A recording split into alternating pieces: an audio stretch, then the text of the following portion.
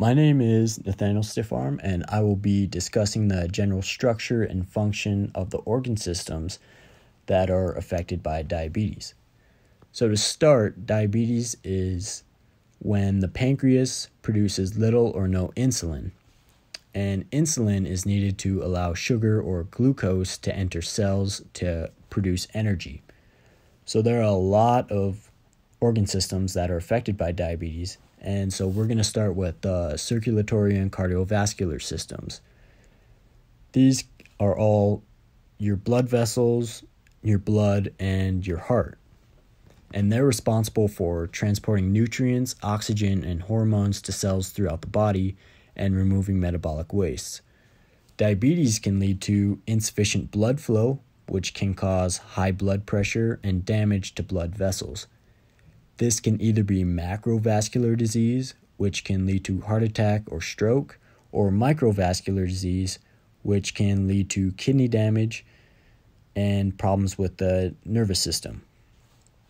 Diabetics with poor circulation are also at risk for infection and wounds, which leads right into the nervous system, which is all your complex collection of nerves and your neurons that transmit signals within the body. Diabetics can have neuropathies, which is nerve damage, which can lead to pain and numbness in the legs, feet, toes, arms, hands, or fingers. This can lead to loss of sensation, resulting in amputation, because if diabetics have wounds that go unnoticed, that can lead to severe infection and they'll have to get an amputation. One other organ system that is affected is your digestive system. This is your stomach, gallbladder, liver, pancreas, small and large intestines, and your esophagus. And they're responsible for breaking down food and absorbing nutrients. Diabetics can suffer from abdominal pain, weight loss, vomiting, acid reflux, and gastroparesis. Again, this is a very general overview of the structure and function of your organ systems. The disease we're going to discuss in relation to the endocrine system is type 1 diabetes. Once known as juvenile diabetes or insulin dependent diabetes, it is a chronic condition in which the pancreas produces little or no insulin. Insulin is a hormone needed to allow sugar or glucose to enter cells to produce energy. The exact cause of type 1 diabetes is unknown. It's usually the body's own immune system, which normally fights harmful bacteria and viruses, and they mistakenly destroy the insulin producing islet or islets of Langerhans cells in the pancreas. Other possible causes include genetics or exposure to viruses and other environmental factors. The role of insulin.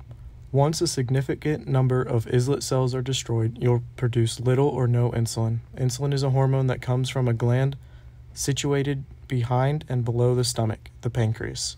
The pancreas secretes insulin into the bloodstream. Um, the insulin circulates, allowing sugar to enter your cells. Insulin lowers the amount of sugar in your bloodstream. As you as your blood sugar level drops, so does the secretion of insulin from your pancreas. The role of glucose. Glucose, or sugar, is a main energy source for the cells that make up muscles and other tissues. Glucose comes from two major sources food and your liver. Sugar is absorbed into the bloodstream where it enters cells with the help of insulin. Your liver stores glucose as glycogen. When your glucose levels are low, such as when you haven't eaten in a while, the liver breaks down the stored glycogen into glucose to keep your glucose levels within a normal range. The lifestyle choices you must make while being diabetic are much different than a person who is not diabetic. Anytime you want to eat something, you have to make sure you have your, your insulin and you take the right amount so that your body can maintain homeostasis. Um, your diet can be the same as other people's, but you have to be more careful, and it can be harder to control your blood sugar with some foods versus others. Like the more sugar, the more likely you are to induce a spike in blood sugar levels, and that causes homeostasis to be less level. Uh, you must exercise as much as possible to remain healthy.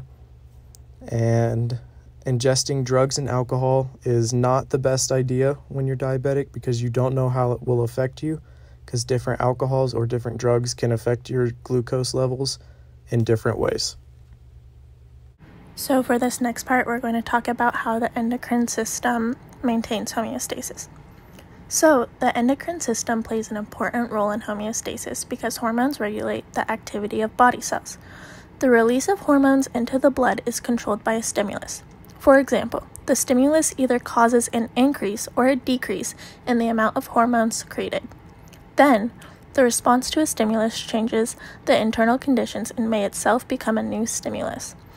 This self adjusting mechanism is called feedback regulation. Control of blood glucose level is an example of negative feedback. Blood glucose concentration rises after a meal, the stimulus. The hormone insulin is released by the pancreas and it speeds up the transport of glucose from the blood and into the selected tissues, the response. Blood glucose concentrations then decrease, which then decreases the original stimulus, the secretion of insulin into the blood is then decreased. So, for the very last part of the project, uh, we have demographics of the disease diabetes. So, I got a few numbers here for the United States. To start off with approximately 1.25 million uh, Americans have type 1 diabetes. And by the year of 2050, there's about expected 5 million people to be diagnosed with type 1 diabetes. An estimated of 40,000 people are diagnosed with type 1 diabetes each year, and 200,000 people under the age of 20 have type 1 diabetes. Um, this treatment can be helped, but the condition cannot be cured, obviously. So, with this many numbers, by there's always like an increase of people getting type 1 diabetes and especially between the years 2001, 2001 and 2009, there was a 21% of an increase in people with this type 1 diabetes. But in the, the years 2011 2012, 17,900 children and adolescents under the age of 20 were diagnosed with type 1 diabetes.